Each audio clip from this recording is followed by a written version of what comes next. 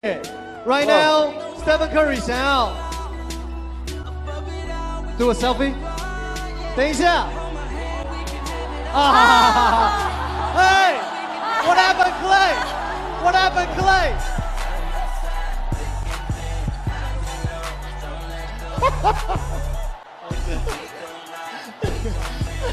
All right. So do a selfie. Had to, I had to do it. I had to do it thing. Is that like an inside joke that you had to do with them? Yeah, hashtag China Klay. Okay, China Tour。Thompson 之前也发生一次这样的状况，对不对？所以他必须要 tag 他一下。接下来，before we close this, um, to all the passionate fans over here, any last words for them? I want to say thank you for your support. It means a lot to me that I know I have a lot of fans here, not only in Chengdu but all of China. It means so much to me, to Seth. All, year- all year long, we think about you guys. So thank you very much for inviting us.